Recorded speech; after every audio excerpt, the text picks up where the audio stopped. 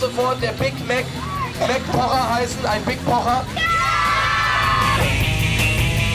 Es ist auch eine Riesenaufgabe, natürlich so ein Weltunternehmen zu führen. Ihr wollt bei McPochers für Qualität zahlen. Aber wenn ich in Zeiten der Not und der Krise gebeten werde, Schweinegeld zu verdienen, dann bin ich natürlich sofort da.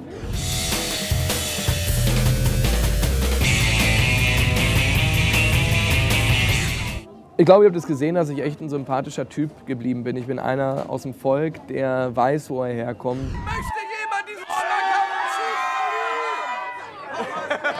diesen Und ähm, wirklich jemand ist, der auf dem Boden geblieben ist, trotz meiner Milliarden, die ich mittlerweile verdient habe.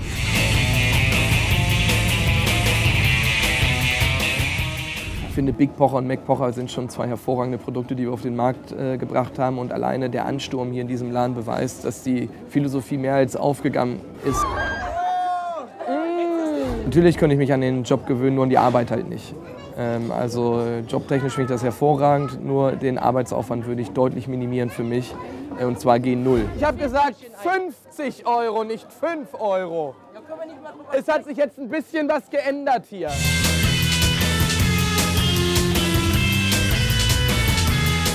Also toller, toller Topstar. Man hat es gesehen, wie er vorgefahren ist. Die Leute sind begeistert und äh, unter anderem auch ein McDonalds-Fan. Also auf jeden Fall war ein toller Event. Eins, zwei, cha, cha, cha.